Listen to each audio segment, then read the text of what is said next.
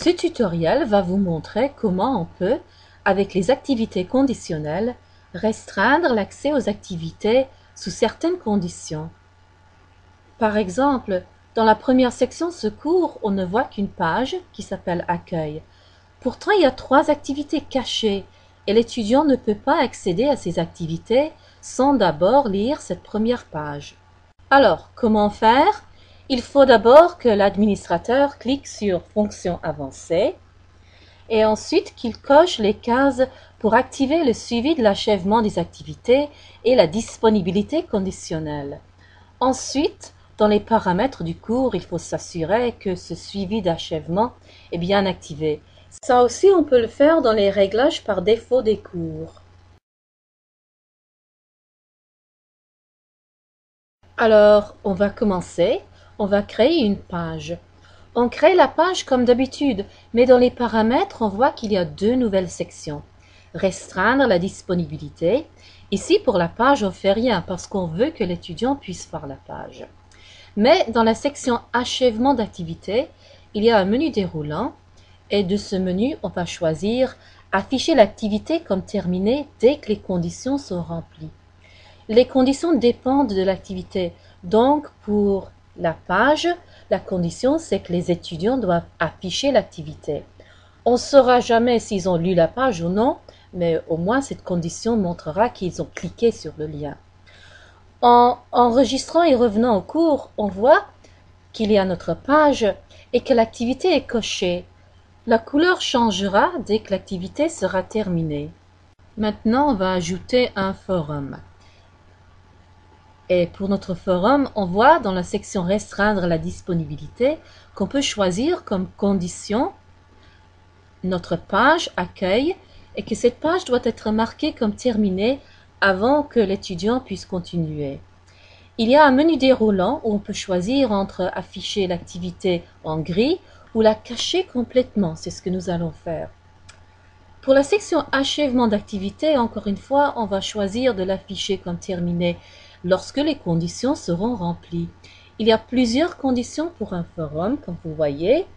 Alors pour le nôtre, le participant doit écrire un message ou une réponse.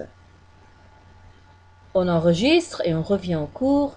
Et voilà notre forum avec un message pour avertir l'enseignant que ce forum est caché pour le moment. Pour notre troisième activité, on va créer un test.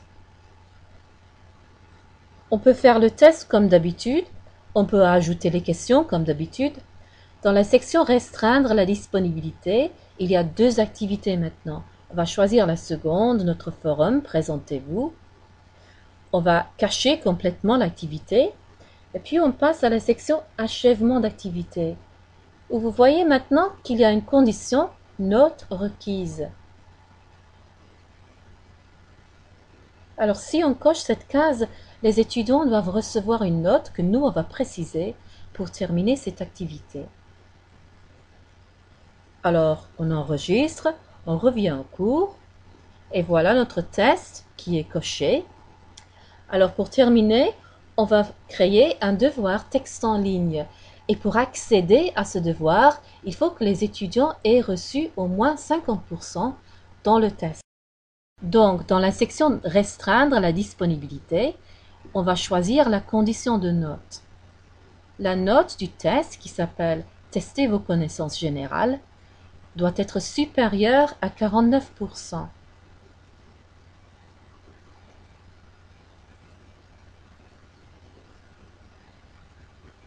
Comme avant, on va cacher l'activité complètement, mais dans la section Achèvement d'activité, on va permettre aux participants de marquer l'activité comme terminée manuellement juste pour voir comment ça marche.